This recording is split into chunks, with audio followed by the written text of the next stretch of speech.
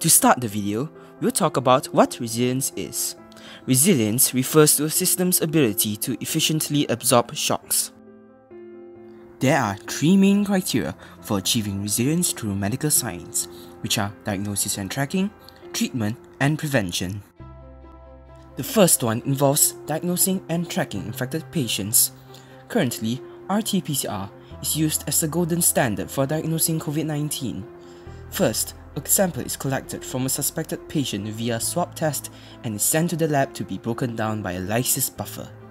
The viral RNA exposed is transcribed into DNA and then left to multiply. A reporter then binds to the DNA and the fluorescent particle is released which will in turn help determine the presence of the virus.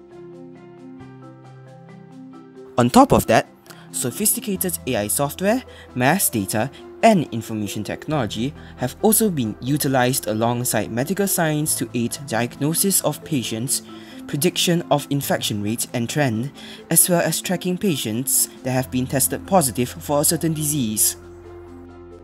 The next criteria is treatment. Treatment refers to the actions taken by hospital staff to promote recovery of patients. Currently, without a proper vaccine produced yet, hospital staff can only rely on putting patients to bed rest, provide supportive care, and monitor their condition. And in severe cases, additional care such as ventilators and steroids are provided to the patients. All of this is to help the patient's immune system to achieve short-term immunity from the virus.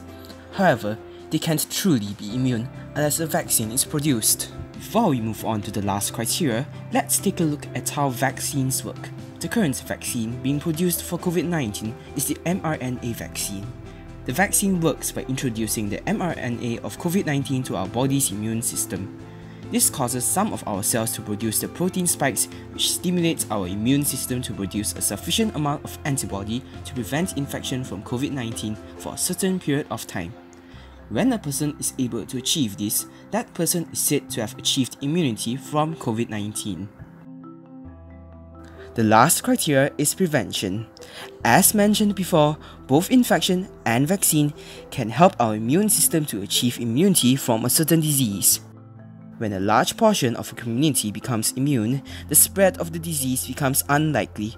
As a result, the whole community becomes protected from further infection of the disease, not just the ones who are immune.